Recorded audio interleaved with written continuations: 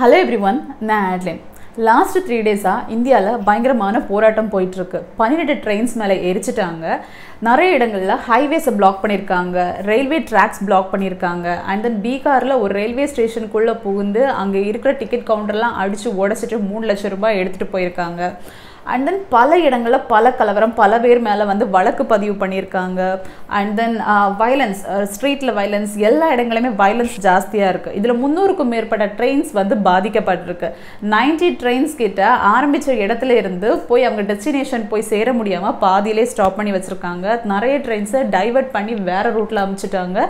Two hundred plus trains வந்து cancel பண்ணியிருக்காங்க. இந்த மாதிரி பல விதமான இழப்புகள் uh, பல விதமான uh, ப்ராப்ளம்ஸ் வந்து இங்கே இந்தியாவில் வந்து போயிட்டுருக்கு.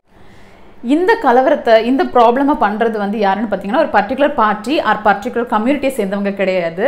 யங்ஸ்டர்ஸ் எந்த யங்ஸ்டர்ஸ் கையில் இந்த நாடு இருக்குது இந்த நாடு வந்து நெக்ஸ்ட் லெவலுக்கு வந்து எந்த யங்ஸ்டர்ஸ் எடுத்துகிட்டு போவாங்க அப்படின்லாம் நம்ம நம்பிட்டு இருக்கோமோ அந்த யங்ஸ்டர்ஸ் தான் இப்போ பப்ளிக் ப்ராப்பர்ட்டிஸ் எல்லாத்தையுமே அடித்து நாசம் பண்ணிட்டு இருக்காங்க.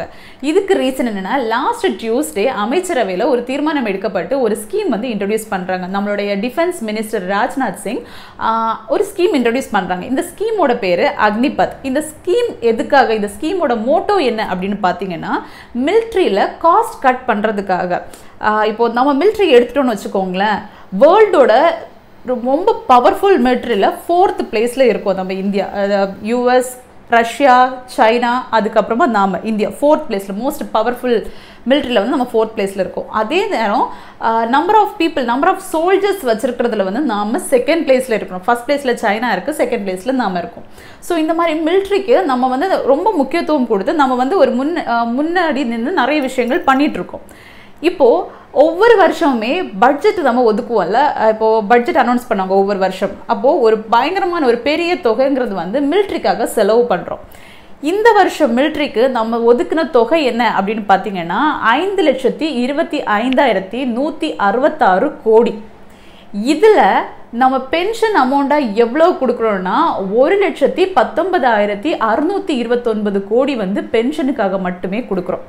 நான் ஆல்ரெடி சொல்லிட்டேன் நம்ம நிறைய நம்பர்ஸ் ஆஃப் பீப்புள் சோல்ஜர்ஸ் வச்சுருக்கோம் நம்ம செகண்ட் பிளேஸில் இருக்கோம். நம்ம கிட்ட uh, கிட்டத்தட்ட பதினான்கு லட்சம் சோல்ஜர்ஸ் வந்து இருக்காங்க. இந்த பதினான்கு லட்சம் சோல்ஜர்ஸில் ஒவ்வொரு வருஷமும் அறுபதாயிரம் பேர் ரிட்டையர் ஆகி போகிறாங்க ஸோ ஒவ்வொரு வருஷமும் நம்ம வந்து பென்ஷன் அமௌண்ட் அப்படிங்கிறதே வந்து ஒரு பெரிய அமௌண்ட் வந்து செலவு பண்ணிகிட்டு இருக்கோம் ஸோ ஒதுக்கப்பட்ட இந்த அஞ்சு லட்சம் அஞ்சு லட்சம் கோடியில் இப்போ ஒரு லட்சம் கோடி வந்து அங்கே போயிடுச்சு. அண்ட் ரிமைனிங் இதில் இருக்கிறதுல இரண்டு லட்சத்தி முப்பத்தி மூன்றாயிரம் கோடி எதுக்கு போகுதுன்னா இப்போ கரண்டாக இருக்காங்கல்ல சோல்ஜர்ஸ் இவங்களுக்கு சேலரி கொடுக்கறதுக்காகவும் மெயின்டெனன்ஸ் பர்பஸ்க்காகவும் போகுது. ஸோ இப்படி மொத்தம் கிட்டத்தட்ட மூன்று லட்சத்தி ஐம்பத்தி இரண்டாயிரத்தி அறுநூற்றி இருபத்தி ஒன்பது கோடி வந்து நாம் என்ன பண்ணுறோம் pension amount salary and maintenance இப்படின்னு சொல்லிட்டு செலவு பண்ணுறோம் ரிமைனிங் இருக்கிற காசில் தான் நம்ம வந்து புது டெக்னாலஜி டெவலப் பண்ணுறது புது ஆயுதங்கள் வந்து வாங்குறது இல்லை வேறு ஏதாச்சும் விஷயங்கள் மிலிட்ரிக்காக பண்ணுறது இது எல்லாமே வந்து ரிமைனிங் இருக்கிற காசில் தான் பண்ணுறோம் ஸோ இந்தியன் கவர்மெண்ட் என்ன டிசைட் பண்ணாங்கன்னா இந்த மாதிரி ஹியூஜ் அமௌண்ட் நமக்கு பென்ஷன் அது இதுன்னெல்லாம் போகுதில்ல இதுக்காக ஒரு சொல்யூஷன் ரெசல்யூஷன் ஏதாவது ஒன்று எடுக்கணும் இல்லை இது வந்து இப்படியே போயிட்டு இருந்தாச்சுன்னா சரியாகாது. ஏதாச்சும் ஒரு முடிவு வரணும். இதுக்கு வந்து நம்ம காஸ்ட் கட் பண்ணணும். அப்போ தான் வந்து மேலே மேலே வளர்ந்து வர முடியும் அப்படிங்கிறதுக்காக தான் இந்த ஸ்கீமை வந்து இன்ட்ரடியூஸ் பண்ணியிருக்காங்க இந்த ஸ்கீம் பற்றி ஒரு விஷயம் ரொம்ப முக்கியமாக நம்ம தெரிஞ்சுக்க வேண்டியது என்னென்னா இது வந்து பெர்மனன்ட் ஜாப் கிடையாது. இப்போ மிலிட்ரியில் இப்போ இருக்கிற ஆர்மி சோல்ஜர்ஸ் எல்லாம் நமக்கு தெரியும். இவங்களுக்கு எல்லாருக்குமே வந்து பெர்மனன்ட் ஜாப் இது. ரிட்டைர்மெண்ட்டுக்கு அப்புறமா பென்ஷன் கொடுப்பாங்க. அவங்க ஃபேமிலிக்குன்னு ஸ்பெஷல் அலவன்சஸ் இருக்கும் சப்சிடிஸ் இருக்கும். இந்த மாதிரி பல விதமான அம்சங்கள் வந்து அவங்களுக்கு இருக்கும். ஆனால் இந்த ஸ்கீமில் ரெக்ரூட் பண்ணுறாங்கல்ல இவங்க வந்து பெர்மனன்ட் எம்ப்ளாயீஸ் கிடையாது. குறிப்பிட்ட ஒரு காலத்துக்கு மட்டுமே இவங்க இந்தியன் கவர்மெண்ட்டில் இவ சேர்ந்து இந்தியன் ஆர்மியில் வேலை செய்ய முடியும். இவ இதுக்கு வந்து ஒரு வயது வரம்பு கொடுத்துருக்காங்க. பதினேழரை வயசுலேருந்து இருபத்தோரு வயசுக்கு உள்ளே இருக்கிறவங்க வந்து இந்த ஸ்கீம் வழி உள்ளே போகலாம். போனதுக்கப்புறம் இவங்களுக்கு மேக்சிமம் காலம் எவ்வளவு அப்படின்னு பார்த்தீங்கன்னா நான்கு வருஷம் கான்ட்ராக்டில் வந்து போகிறாங்க இந்த நான்கு வருஷத்தில் வந்து அவங்க அங்கே ஒர்க் பண்ணிவிட்டு அவங்களோட பர்ஃபார்மன்ஸ் நல்லா இருந்துச்சு அப்படின்னா அவங்க அதில் இப்போ நூற்றில் இருபத்தஞ்சு பேரை வந்து அவங்க எடுத்துக்கிறேன் அப்படிங்கிறது மாதிரி சொல்கிறாங்க இந்த இருபத்தஞ்சு பேரை வந்து அவங்க பெர்மனண்ட்டாக எடுத்துக்கிறாங்களா? இல்லை வந்து கான்ட்ராக்ட் வந்து எக்ஸ்டெண்ட் பண்ணுவாங்களா? அப்படிங்கிறதும் வந்து அவங்களோட பெர்ஃபார்மன்ஸ் பேஸில் தான். ஸோ இப்போது இவங்க வந்து பெர்மனண்ட் எம்ப்ளாயியாக இல்லாமல் இருக்கிறதுனால இவங்களுக்கு பென்ஷன் அது இதுன்னு எதுவுமே கொடுக்க வேண்டாம். அண்ட் தென் ஃபோர் இயர்ஸில் இந்த எம்ப்ளாயிஸ் என்ன பண்ணுவாங்க? இந்த சோல்ஜர்ஸ் ஃபோர் இயர்ஸ் இவங்களோட டியூட்டி முடிச்சதுக்கப்புறம் வருவாங்க. இவங்களுக்கு ஃபஸ்ட் இயரில் சேலரி எவ்வளவு சொல்லியிருக்காங்கன்னா தேர்ட்டி தௌசண்ட் சேலரி இதில் டுவெண்ட்டி ஒன் தௌசண்ட் கையில் கொடுப்பாங்க. முப்பது பர்சன்டேஜ் வந்து இவங்க பிடிச்சி வச்சிருப்பாங்க. இப்போ எந்த ஜாபாக இருந்தாலுமே பிஎஃப் அப்படின்னு ஒரு விஷயம் இருக்குல்ல அதே மாதிரி இவங்களுக்கு பிஎஃப் அப்படிங்கிறது வந்து சேவா நிதி அப்படிங்கிறத மாதிரி சொல்லி இவங்க எம்ப்ளாயி சைடில் இவங்களோட சேலரியிலிருந்து முப்பது பர்சன்டேஜும் கவர்மெண்ட் ஒரு தேர்ட்டி பர்சன்டேஜும் போட்டு நாலு வருஷமும் இவங்களுக்கு வந்து சேலரி தேர்ட்டி தேர்ட்டி பர்சன்டேஜ் மாதிரி கான்ட்ரிபியூட் பண்ணி end of the fourth year என்ன பண்ணுவாங்கன்னா ஒரு லெவன் லேக்ஸ் கிட்ட வந்து இவங்க கையில் கொடுத்துருவாங்க. இது வந்து முடிச்சு போகும்போது பிஎஃப் அமௌண்ட் மாதிரி இதை கொடுத்துருவாங்க.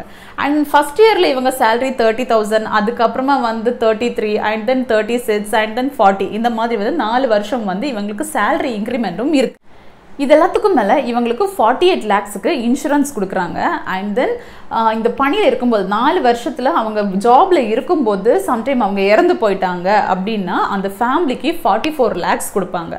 ஸோ டெத் இன்கேஸ் ஜாபில் இருக்கும்போது ஒரு பர்சன் இறந்து போயிட்டாங்கன்னா இந்த insurance amount forty eight and then இந்த ஃபார்ட்டி ஃபோர் தென் இவங்க uh, அமௌண்ட்டில் சேர்க்குறாங்கல்ல இந்த காசு இந்த ten ten lakhs eleven lakhs இந்த லெவன் லேக்ஸும் வந்து uh, இந்த கன்சர்ன் பர்சனே கொடுப்பாங்க. அதே நேரம் சம்டைம் இவங்க வந்து அங்கே ஃபோர் இயர்ஸ் அங்கே ஒர்க் பண்ணிட்டு இருக்காங்க. ஆன் டியூட்டியில் இல்லாமல் இருக்கும்போது இறந்துட்டாங்கன்னா அப்பவும் இந்த ஃபார்ட்டி ஃபோர் லேக்ஸ் கொடுக்க மாட்டாங்க. பட் ஃபார்ட்டி எயிட் லேக்ஸுக்கு இன்சூரன்ஸ் இருக்குல்ல இது அண்ட் தென் நாலு வருஷம் சேர்க்குற இந்த அமௌண்ட் அண்ட் தென் சம்டைம் இப்போ ஃபோர் இயர்ஸ் அவங்களோட contract period two years work பண்ணியிருக்காங்க டூ செகண்ட் இயரில் வந்து இறந்து போயிட்டாங்க அப்படின்னாலும் இந்த தேர்ட் இயர் ஃபோர்த் இயர் எல்லாமே வந்து இவங்களுக்கு வர வேண்டிய சேலரி கரெக்டாக அவங்க ஃபேமிலிக்கு போய் சேரும். And then end of the அந்த ஃபோர்த் இயர் இதில் வந்து அந்த அமௌண்ட்டும் போய் சேர்றது மாதிரி இருக்கு. அதே நேரம் இவங்க டியூட்டியில் இருக்கும்போது ஏதாவது டிசபிள் ஆகிடுச்சு கொஞ்சமாக கை கால் இந்த மாதிரி ஏதாச்சும் அவங்களுக்கு ப்ராப்ளம் வந்துச்சு அப்படின்னாலும் அதுக்கு ஏற்றது மாதிரி இந்த ஃபார்ட்டி ஃபோர் லேக்ஸ் வந்து சொல்லிட்டு இருந்தாங்களே இறந்து போயாச்சுன்னா கொடுக்குற அந்த ஃபார்ட்டி ஃபோர் லேக்ஸ் இந்த ஃபார்ட்டி ஃபோர் லேக்ஸில் டுவெண்ட்டி ஃபைவ் பர்சன்டேஜ் இல்லை ஃபிஃப்டி பர்சன்டேஜ் இல்லை செவன்ட்டி ஃபைவ் பர்சன்டேஜ்னு சொல்லிட்டு எந்த அளவுக்கு அவங்களுக்கு ப்ராப்ளம் இருக்கோ அதுக்கு ஏற்றது மாதிரி கொடுப்பாங்க. ஸோ இந்த மாதிரி இதெல்லாமே வந்து இந்த ஸ்கீமில் வந்து இன்ட்ரடியூஸ் பண்ணியிருக்காங்க எல்லாமே பெட்டராக இருந்தாலும் இதில் ஒரு ப்ராப்ளம் மெயினாக என்ன இருக்குன்னா இது வந்து ஒரு பெர்மனன்ட் ஜாப் கிடையாது. நம்ம சொசைட்டியில் கவர்மெண்ட் ஜாப் எதுக்காக எல்லாரும் தேடுறாங்க அப்படின்னா ஒரு ஜாப் செக்யூரிட்டி ஒன்ஸ் நான் உள்ளே போயிட்டேன்னா எனக்கு வந்து லைஃப் லாங் ஒரு செக்யூர்டான ஒரு ஜாப் இருக்கும். என் ஃபேமிலிக்கு வந்து செக்யூர்டான ஒரு இது இருக்கும். நான் வந்து ரிட்டையர் ஆனாலுமே எனக்கு பென்ஷன் அமௌண்ட் வரும். அண்ட் தென் எனக்கு எந்த ஒரு கவலையுமே வேண்டாம். இப்போ ப்ரைவேட் கம்பெனிலாம் போகிறவங்க இந்த கம்பெனி கொஞ்சம் டல் ஆச்சுன்னா வந்து வேலையை விட்டு தூக்கிடுவாங்க. அந்த மாதிரி எதுவுமே கிடையாது. எந்த ஒரு ப்ராப்ளமும் இருக்காது. அண்ட் தென் சோஷியல் ஸ்டேட்டஸ் சொசைட்டியில் வந்து ஒரு படி ஏறினது மாதிரி கவர்மெண்ட் ஜாப்ஸ் எல்லாமே. ஸோ இந்த விஷயங்களுக்காக தான் எல்லாரும் கவர்மெண்ட் ஜாப்ஸ் வந்து தேடி தேடி போகிறாங்க ஏன் இந்தியன் ஆர்மி கூட நிறைய பேருக்கு வந்து கனவாக இருக்கும். நாட்டுக்காக நிறைய விஷயங்கள் பண்ணணும் நாட்டுக்காக போராடணும் நாடை காப்பாற்றணுங்கிறது வந்து சிலவங்களுக்கு கனவாக இருக்கும். பட் அந்த இடத்துலையுமே நிறைய பேர் வந்து ஒரு செக்யூர்டான ஜாபுக்காக போய் போகிறவங்க நிறைய பேர் இருக்காங்க. அப்படி இருக்கும்போது இந்த டெம்ப்ரரி ஜாப் அப்படிங்கிறது தான் இங்கே வந்து ஒரு பெரிய ப்ராப்ளமாக இங்கே வந்து முடிஞ்சிச்சு. ஸோ இப்போ வந்து இது இருக்க பாசிட்டிவ்னஸ் எல்லாமே பா பாசிட்டிவ் சைடு எல்லாமே பார்த்துட்டோம்ல இவங்களுக்கு எவ்வளோ சேல்ரி வருது எவ்வளவு இப்போது இது முடிச்சதுக்கப்புறம் எவ்வளவு அமௌண்ட் கிடைக்குது இந்த மாதிரி எல்லாமே பார்த்துட்டோம். இதோட நெகட்டிவ் சைடு என்ன அப்படின்னு சொல்லிட்டு பலர் சொல்கிறாங்கன்னா நாலு வருஷம் அதாவது டுவெல்த்து முடித்த உடனே ஒரு பெண் இல்லைன்னா ஆண் உள்ளே போகிறாங்க போய் ஆயுதங்களாக இருக்கட்டும் இந்த மாதிரி பலவிதமான ட்ரைனிங் எடுத்துகிட்டு வர்றாங்க. வந்து நார்மலாக எப்படி வந்து மக்கள் கூட மிங்கிள் ஆவாங்க அப்படிங்கிறது மாதிரி வந்து இடது சைடில் இருந்து கேட்குறாங்க இது வந்து ஆப்போசிட் பார்ட்டி கேட்குறதா இருக்கலாம் இல்லை வந்து நிறைய மக்களுடைய கருத்துக்களாகவும் இது இருக்குது எப்படி வந்து இப்படி ட்ரெயின் பண்ணி ஆயுதங்களெல்லாம் ட்ரெயின் பண்ணி நிறைய பேர் ஒவ்வொரு வருஷமும் அப்போ நீங்கள் வந்து நாற்பத்தி ஆறாயிரம் பேரை எடுக்கிறீங்க. எடுத்துட்டு இதில் வந்து இருபத்தஞ்சு இருபத்தஞ்சு பர்சன்டேஜ் வந்து ரெக்ரூட் பண்ணிட்டு மிச்சம் இருக்கிறத வந்து நீங்கள் விட்டுக்கிட்டே இருக்கீங்க இந்த சொசைட்டியில் ஸோ இது வந்து ஆர்ம்டு பீப்புள் நிறைய ட்ரைனிங் எல்லாம் தெரிஞ்சவங்க வந்து மக்களோட மக்கள் மிங்கர் ஆகுறது வந்து இவங்க எப்படி நார்மல் பீப்புள் மாதிரி இருப்பாங்க? ஏதாச்சும் ஒரு டைமில் வந்து இவங்களோட ஃப்ரஸ்ட்ரேஷன்லாம் ஜாஸ்தியாக தானே ஆகும். அப்போ இவங்களோட ரியாக்ஷன் எல்லாம் இந்த சொசைட்டியில் வந்து எப்படி இருக்கும்?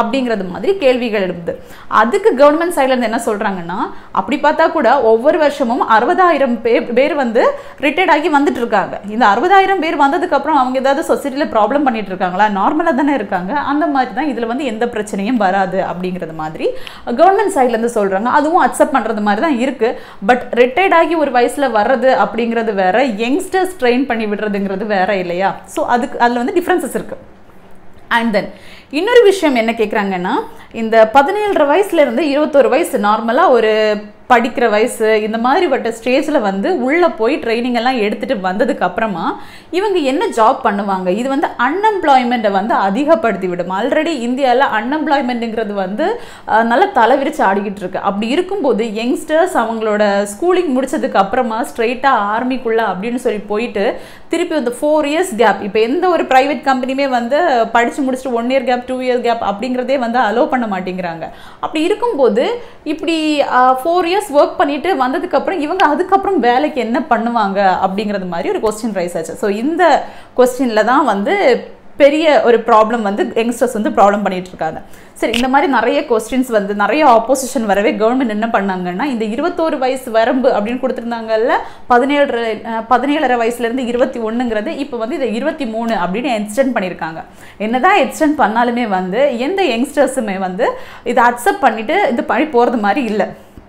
அண்ட் இந்த அக்னிபத் அப்படிங்கிற திட்டம் வந்து இந்தியா தான் ஃபஸ்ட்டு ஃபஸ்ட்டாக இன்ட்ரடியூஸ் பண்ணிச்சா அப்படின்னா இல்லை. இந்தியா வந்து இது அக்னிபத் அப்படிங்கிற ஒரு பேரில் கொடுத்துருக்குன்னா இது நிறைய கண்ட்ரிஸ் வந்து டூர் ஆன் டியூட்டி அப்படிங்கிற பேரில் வந்து கொடுத்துட்டு தான் இருக்காங்க அவங்க கண்ட்ரிக்கு அண்ட் தென் uh, பல கண்ட்ரீஸில் இஸ்ரேல் நார்வே ஸ்வீடன் இந்த மாதிரி கண்ட்ரீஸ்லலாம் இட்ஸ் கம்பல்சரி பதினெட்டு வயசு ஆயிடுச்சுன்னா கண்டிப்பாக ஒரு வருஷம் இல்லை ரெண்டு வருஷம் நாட்டுக்காக ஒர்க் பண்ணியே தீரணும் அப்படிங்கிற கம்பல்ஷனும் இருக்குது பட் இந்தியா பொறுத்த வரைக்கும் அப்படி யாரையுமே வந்து அவங்க கம்பல் பண்ணலை. இப்போ உங்களுக்கு நாட்டுக்காக ஏதாவது பண்ணணும் நாட்டுக்காக போராடணும் அப்படின்னு வந்து உங்களுக்கு ஆசை இருந்துச்சு அப்படின்னா வந்து என்ரோல் பண்ணிக்கோங்க அப்படின்னு தான் சொல்கிறாங்க அண்ட் தென் இப்போ இதில் வந்து ஒரு பெரிய ஐரணி என்ன அப்படின்னா இப்போ கலவரம் பண்ணுறவங்களெல்லாம் நம்ம பார்த்தோன்னா எல்லாரும் என்ன சொல்கிறாங்கன்னா கவர்மெண்ட்டில் நாங்கள் வந்து இந்தியன் ஆர்மிக்காக வந்து பலவிதமான இது பண்ணணும் இந்தியன் ஆர்மியில் சேரணுங்கிறதே கனவாக வச்சுட்டு இருந்தோம்.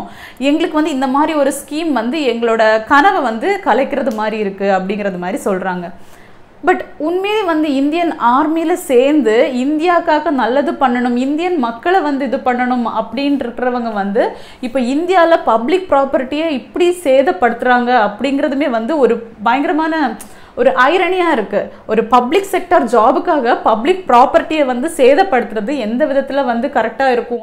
இந்த போராட்டத்தில் வந்து இன்னும் ஒரு கருத்து பயங்கர ஸ்ட்ராங்காக வந்திருக்கு. என்னென்னா நான் ஆல்ரெடி சொல்லியிருந்தேன் இந்த மாதிரி நாலு வருஷம் ட்ரெயின் பண்ணிட்டு இவங்களை வெளியில் விட்டால் இவங்க எந்த மாதிரி சொசைட்டியில் பிஹேவ் பண்ணுவாங்க அப்படிங்கிறது வந்து நிறைய பேர் கொஸ்டின் ரைஸ் பண்ணியிருந்தாங்கல்ல அவங்க இந்த கொஸ்டினை இன்னுமே வந்து ரொம்ப ஸ்ட்ராங்காக வைக்க ஆரம்பிச்சிட்டாங்க. இப்போது இந்த ஜாபுக்கு இப்படிங்கிற ஒரு விஷயத்துக்காகவே இவ்வளவு கலவரம் பண்ணுற இவங்க இவங்க எல்லாருமே வந்து மிலிட்ரியில் என்ரோல் ஆகணும் அப்படிங்கிற ஆசை இருக்கிறவங்க தானே இப்போ இந்த ப்ராப்ளம் பண்ணுறாங்க எங்கள் பெர்மனெண்ட்டாக ஜாப் இல்லை. இது வந்து டெம்பரரியாக இருக்குது என்னோட கனவு வந்து கரைக்குது அப்படிங்கிறது மாதிரி. இப்படி இருக்கிற பர்சன்ஸ் உள்ளே போய் நாலு வருஷம் இந்த ட்ரைனிங் எல்லாம் எடுத்துகிட்டு வெளியில் வந்ததுக்கப்புறம் எப்படி வந்து இங்கே பிஹேவ் பண்ணுவாங்க அப்படிங்கிறது வந்து இன்னும் ரொம்ப ஸ்ட்ராங்காக வந்து கேட்கப்படுற ஒரு கேள்வியாக இருக்குது அண்ட் தென் இதில் வந்து டவுட் இல்லைல்ல நமக்கே பார்க்கும்போது தெரியுது. ட்ரெயின் சேர்க்குறாங்க எவ்வளோ ப்ராப்ளம்ஸ் பண்ணுறாங்க இப்படி இருக்கும்போது இவங்களுக்கு வந்து ட்ரைனிங் கொடுத்து ப்ராப்பராக வந்து மிலிட்ரியில் எடுத்துகிட்டு போய் நிறைய ட்ரைனிங் கொடுத்து வெளியில் விடும்போது நார்மல் ஒரு பேலன்ஸ்டான ஒரு லைஃப் வந்து இங்கே ஸ்பாயில் ஆகும் அப்படிங்கிறதுல வந்து எந்த ஒரு மாற்று கருத்தும் இல்லாமல் தான் இருக்குது அண்ட் தென் இது ஃபஸ்ட்டே சொன்னது மாதிரி கண்ட்ரி பொறுத்த வரைக்கும் நம்ம கண்ட்ரி யாரையுமே கட்டாயமாக வந்து வாங்க அப்படின்னு சொல்லி கூப்பிடலை. இஷ்டம் இருக்கிறவங்க வாங்க அப்படின்னு சொல்லி தான் கூப்பிட்டாங்க. ஒருவேளை சில கண்ட்ரிஸ் மாதிரி இஸ்ரேல் மாதிரி நார்வே ஸ்வீடன் மாதிரி கம்பல்சரியாக ஒரு பதினெட்டு வயசு ஆயிடுச்சா? வாங்க ரெண்டு வருஷம் கண்டிப்பாக இந்தியன் ஆர்மியில் வந்து நீங்கள் ஒர்க் பண்ணிட்டு தான் போகணும். அப்படின்னு வந்து ரொம்ப கம்பல்ஷனோட சொல்லியிருந்தா கூட பரவாயில்ல. இந்த அளவுக்கு வந்து ப்ராட்டஸ்ட் அப்போ கூட ப்ராட்டஸ்ட் வந்து ஒரு விஷயம் வந்து நம்ம எக்ஸ்பெக்ட் பண்ணக்கூடாது நடக்கக்கூடாத ஒரு விஷயம். அண்ட் ஒரு கண்ட்ரி ஒரு கவர்மெண்ட் அப்படின்னு எடுத்தாச்சுன்னா அவங்களோட மெயின் மோட்டோ என்னவா இருக்கும்னா நாடை ப்ரொடெக்ட் பண்ணணும். நாட்டு மக்களை ப்ரொடெக்ட் பண்ணணும். மிலிட்ரியை வந்து ஸ்ட்ராங் பண்ணணும் அப்படிங்கிறது வந்து நினைப்பாங்க. அந்த இடத்துல காஸ்ட் கட்டிங் அப்படிங்கிறது வந்து எல்லா கண்ட்ரியுமே திங்க் பண்ணுற ஒரு விஷயம். ஏன் நம்ம இங்கே உட்காந்துட்டு வந்து சீனா அந்த சைலேருந்து அட்டாக் பண்ண போகிறாங்க இந்த சைலேருந்து பாகிஸ்தான் அட்டாக் பண்ண போகிறாங்க நம்ம கண்ட்ரி என்ன பண்ணிட்டு இருக்கு அந்த மாதிரிலாம் வந்து என்ன என்னென்ன பண்ணிட்டு இருக்காங்க அப்படிங்கிறது மாதிரிலாம் நம்ம வந்து பல விதமான கொஸ்டின்ஸ் வந்து ரைஸ் பண்ணிட்டு இருக்கோம். ஸோ கண்ட்ரி அதை நோக்கி வந்து ஒரு விஷயம் பண்ணி போகும்போது நாடை பாதுகாக்கிறதுக்கு அப்படிங்கிற ஒரு விஷயத்துக்கு வந்து காஸ்ட் கட்டிங் இப்போ ஒரு பெரிய விஷயமா இருக்கு. அப்படின்னா அது வழி போகும்போது நான் வந்து நாட்டுக்காக ஏதாச்சும் பண்ணணும்னு ஆசைப்படுறேன் அப்படின்னு உண்மையாக நினைக்கிறவங்க வந்து இதில் போய் என்ரோல் ஆகலாம். நாலு வருஷம் நாட்டுக்காக சேவை பண்ணலாம் அப்படிங்கிறது வந்து அது ஒரு பெரிய விஷயமா தெரியல. அண்ட் தென் எப்போவுமே எல்லாத்துக்குமே வந்து ஒரு வயலன்ஸை வந்து எப்போ கையில் எடுக்கிறதும் வந்து கரெக்டாக இருக்காது. இப்போ உலகத்துக்கே வந்து நான் வயலன்ஸ் அப்படிங்கிறத வந்து சொல்லி கொடுத்ததே நாம தான். பட் இப்போ நம்ம கண்ட்ரியில் தான் ஓவர் வயலன்ஸும் இருக்குது இது எல்லாத்துக்குமே ஒரு பேஸ் ரூட் அப்படின்னு பார்த்தோன்னா இந்த அரசாங்க உத்தியோகம் இதில் இருக்கிற மோகம் தான் இது எல்லாத்துக்கும் காரணம். இது நாடை காப்பாற்றுறது நாட்டுக்குள்ளே நான் சோல்ஜர்ஸில் போய் வந்து என்னோட ட்ரீமை இது பண்ணி நாடை காப்பாற்றுறீங்களா அந்த மாதிரி விஷயம் இதில் வந்து பெருசாக வரல. இதில் வந்து வந்திருக்கிறது எல்லாமே அந்த அரசாங்க யு- உத்தியோகம் அதில் வர்ற சோஷியல் ஸ்டேட்டஸ் அந்த ஒரு லேடர் கிளைம் பண்ணி போகிறாங்கல்ல அந்த ஒரு விஷயத்துக்காக நடக்கிற ஒரு பிரச்சனையே தவிர வேற எதுவும் இல்லை. ஏன்னா உண்மையாகவே வந்து ஆர்மியில் சேரணும் நாட்டுக்காக ஏதாச்சும் பண்ணணும் நம்ம நாட்டு மக்களை ப்ரொடெக்ட் பண்ணணும் இப்படிங்கிற ஒரு தாட் ப்ராசஸோடு இருக்கிற ஒரு பர்சன் கண்டிப்பாக இப்படி தெருவில் இறங்கி பப்ளிக் ப்ராப்பர்ட்டியை அடித்து நொறுக்கி வந்து கவர்மெண்ட்டுக்கு இன்னும் பலவிதமான செலவுகள் வந்து கொடுக்க மாட்டாங்க. இது என்னோட கருத்தாக இருக்குது உங்களோட கருத்துக்களை நீங்கள் பதிவு பண்ணுங்கள் நெக்ஸ்ட் வீடியோவில் மீட் பண்ணலாம். பாய்